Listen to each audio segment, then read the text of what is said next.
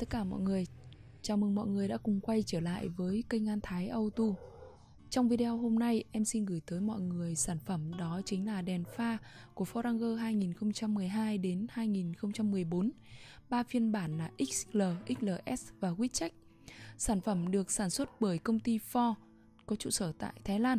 Sản phẩm được sản xuất theo tiêu chuẩn của công ty Ford Phía bên trong của sản phẩm là chó đen, phía mặt ngoài là kính cao cấp chống chói lóa, chống xước, phía bên sau là ốp nhựa cùng với các hốc để chúng ta đưa bóng đèn vào.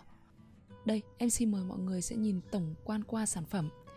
Với cái hàng xịn thì anh em có thể lưu ý là phía mặt ngoài tức là phía mặt kính ấy, thì hãng Ford có dập luôn chữ Ford ở phía mặt của đèn pha và trên cái tai nhựa để chúng ta bắt vào cái giá để bắt đèn pha nó cũng có dập luôn chữ for với tất cả các sản phẩm có đã là hàng xịn thì như em đã nói, không chỉ riêng với một sản phẩm for này và tất cả các hàng for đều, người ta đều dập mã số trên tất cả các linh phụ kiện.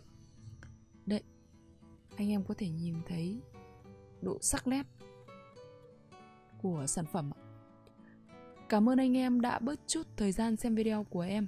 Anh em có nhu cầu cần hỗ trợ tư vấn về sản phẩm thì liên hệ với em theo số 076 9086 333.